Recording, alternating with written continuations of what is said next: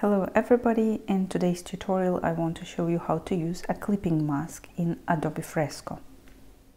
Clipping mask is essentially a, a layer in Adobe Fresco that can be clipped to another layer, that's why it's called clipping mask, and all of the changes that you make on that clipped uh, mask layer could be then uh, sit and stay within the area of the uh, main layer. There are loads of advantages of why you would want to use a clipping mask, but um, let me demonstrate it as we speak. So let's work with this uh, model's face, for example. I'll show you how it looked like before, so I'll unclip the mask and I'll show you after. So now it's just a shaded area that uh, looks like a face and uh, it looks like a little bit bland. So what I did, I've created um, this layer just over here. Yeah you just press plus and you create a layer. And then you use um, for example um, a brush of your choice to make some sort of um, mm, sh shades. Yeah so I've highlighted um, uh, some areas here around the chin because it's a shadow slightly just over here next to um, hairline and also uh, ears and also areas around the eyes Right now it looks pretty bad. You may think that I'm crazy suggesting that, but um, as soon as you press uh, this sign over here, yeah, you sort of clip that to uh, the main layer, which represents the face.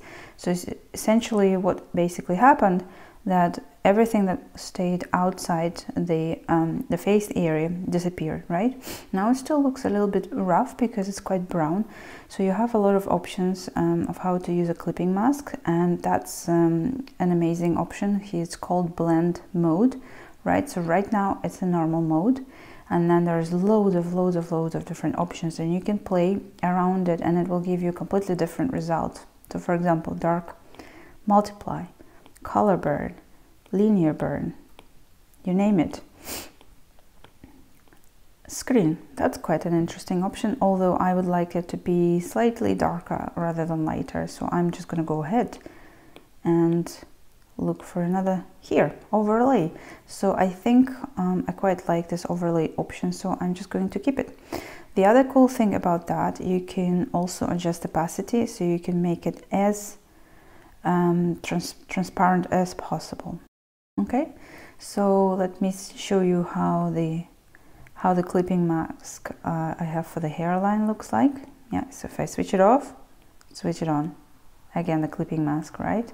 And if I were to unswitch it at all unclip it you see it's just everything is outside the edges. So if I clip it back again everything stays within the main uh, area so this is how a mask a clipping mask work in Adobe Fresco I hope you enjoyed that uh, very quick tutorial and I hope it helps make your illustration a bit more interesting and make your work uh, easier.